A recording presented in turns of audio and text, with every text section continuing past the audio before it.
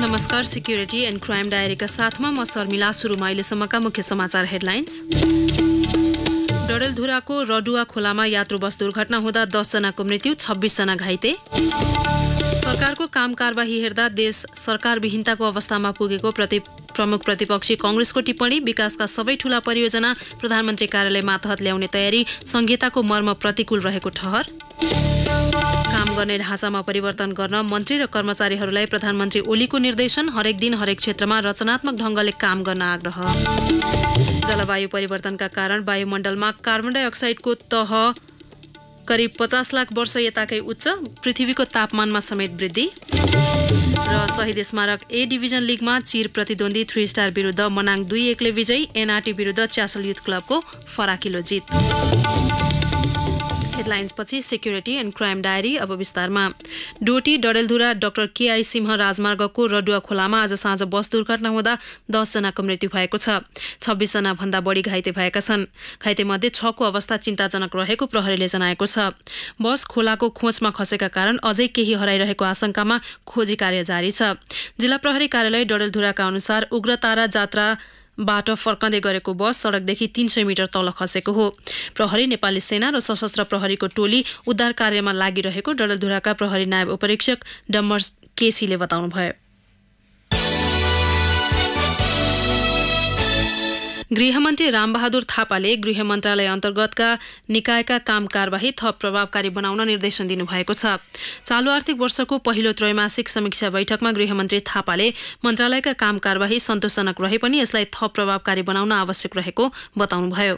गृह सचिव प्रेम कुमार राईले समृद्ध नेपाल सुखी नेपालीको सपना साकार बनाउन गृह मन्त्रालयको भूमिका महत्वपूर्ण हुने भएकाले सोही अनुरूप काम गर्न मातहतका निकायलाई निर्देशन दिनुभएको भएको छ। उहाँले मन्त्रालयको काम कारवाही सही बाटोमा रहे पनि अझ प्रभावकारी बनाउन आवश्यक रहेको बताउनुभयो। श्रम तथा वैदेशिक कार्य कार्यालयमा बिचौलियाको काम गरी ठगी गर्ने तीनजनालाई प्रहरीले काठमाडौँबाट पक्राउ गरेको छ। महानगरीय प्रहरी वृत्त कालीमाटीको टोलीले श्रम तथा वैदेशिक रोजगार विभाग ताहाचलमा सक्रिय बिचौलिया विरुद्ध फिल्टर अपरेसन गरेको थियो। मृतकका अनुसार सेवाग्राहीलाई छिटो सेवा दिन भन्दै रकम माग गरेर दुःख दिएको जनगुनासो बढेपछि खटिएको प्रहरी टोलीले उनीहरूलाई पक्राउ गरेको हो। पक्राउ पर्नेमा कालीमाटीका सुरेन्द्र पाँचकोटी धादिङका सुजन लामा र सर्लाहीका निर्मल तामाङ रहेका छन्।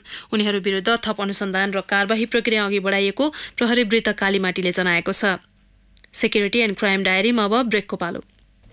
ब्रेकपछि अब बाँकी प्रसङ्ग बालिकालाई जबरजस्ती करणी गरेको आरोपमा तेह्रथुम प्रहरीले एकजनालाई पक्राउ गरेको छ।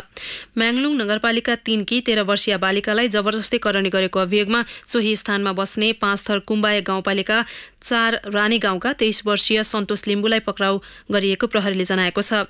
गत मङ्गलबार राति युवकले बालिकालाई जबरजस्ती करणी गरेको किटानी जाहेरी पीडित पक्षले प्रहरीलाई दिएको थियो।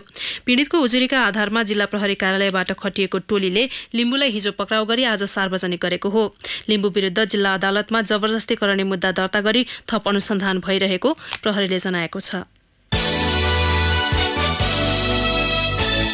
अवैध रूपमा भारततर्फ लैजान लागि दस किलो चाँदी सहित पर्सा प्रहरीले एक भारतीय नागरिकलाई पक्राउ गरेको छ। जिल्ला प्रहरी कार्यालयबाट खटिएको टोलीले वीरगंज रक्सोल सडक खण्डबाट भारत बिहार पश्चिम चम्पारणका तीस वर्षीय गुलसन शाह कानुलाई करिब साढे छ लाख मूल्य बराबरका चाँदी सहित पक्राउ गरेको हो। भारतीय नम्बर प्लेटमा सवार कानुलाई चाँदी किनेको आवश्यक कागजात माग गर्दा पेश नगरेपछि पक्राउ गरिएको जिल्ला प्रहरी कार्यालयका डिएसपी मानबहादुर राईले बताउनुभयो। कानुलाई आवश्यक कारवाहीका लागि बरामद सामानसहित बाह्र पथलैया स्थित राजस्व अनुसन्धान विभागको मध्य क्षेत्रीय कार्यालय पठाइएको प्रहरीले जनाएको छ। यसैबीच जुवा खेलिरहेका छजनालाई प्रहरीले नियन्त्रणमा लिएको छ। जिल्ला प्रहरी कार्यालय पर्साबाट खटिएको टोलीले सखुवा प्रसौनी गाउँपालिका पाँच स्थित जलान्दर यादवको घरमा कौडा खेलिरहेका स्थानीय पैँतिस वर्षीय मुक्तार मिया सहित छजनालाई पक्राउ गरेको हो। अन्य पक्राउ पर्नेमा अडतिस वर्षीय जयराम राउत कुर्मी पच्चिस वर्षीय जोखु राउत कुर्मी उन्नाइस वर्षीय दिपनारायण महतो कोइरी छब्बिस वर्षीय दिनेश राम र चौवन्न वर्षीय गुलाम प्रसाद यादव रहेका छन्। अवस्था सिक्युरिटी एन्ड क्राइम डायरीलाई यही सकिन्छ। नौ बजे कान्तिपुर डायरीका साथमा उपस्थित हुनेछौँ। तबसम्मलाई शर्मिला बिदा हुन्छु। नमस्कार।